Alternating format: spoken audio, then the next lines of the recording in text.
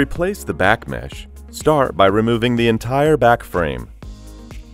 This can be done using a power drill or screwdriver and removing the four screws that hold the back.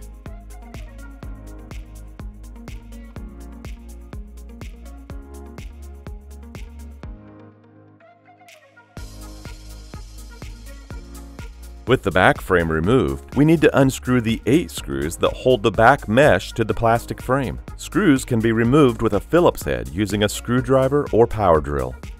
With the screws removed, the back mesh can be separated from the back frame.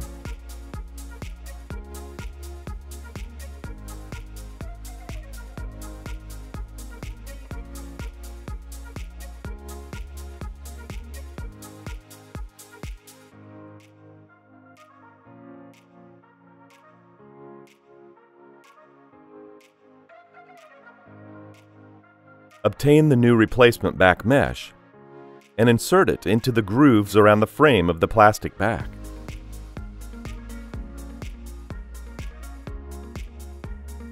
This is a tight fit, so using a mallet may be helpful or necessary.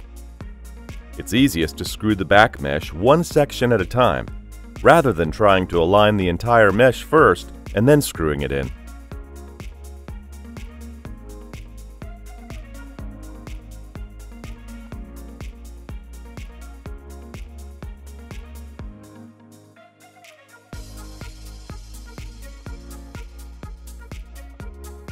For the last three screws, it may be easier to borrow a set of hands to help you screw in the mesh.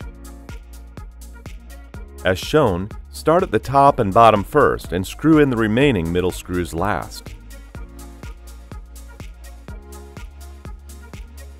With the back mesh replaced, screw the back mesh back onto the chair using the same four screws from the beginning of the video.